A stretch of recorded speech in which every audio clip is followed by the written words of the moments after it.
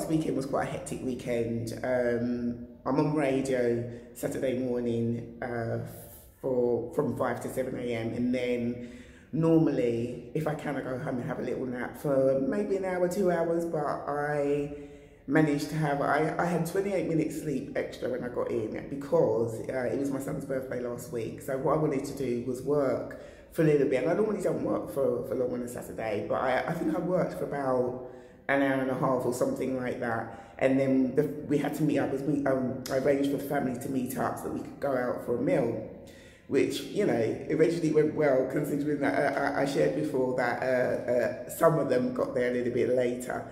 Um, but anyway, and then on Sunday, I always had somewhere to go, and then I got in probably around about 11 p.m. Uh, taking into consideration the next morning I have to get up early uh, to go on radio on Monday. So, you know, so basically, what I decided to do was negotiate, and I sort of thought to myself, look, you know, I've been out a few nights that week. This week, I need to be in a little bit early ah, to unwind and just get a bit more rest.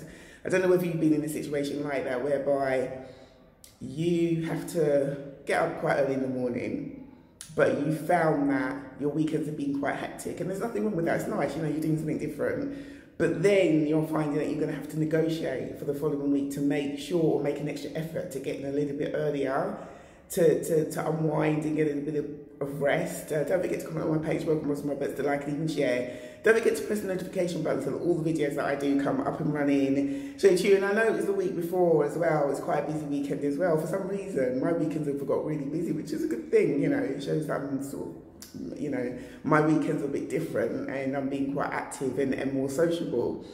But, uh, you know, I feel like I do need to be wise, especially because I'm up early some mornings and I am an early morning person, so I'm not complaining about that because I do actually like waking up early and, and just doing something. It, it just makes me feel like I've really achieved something.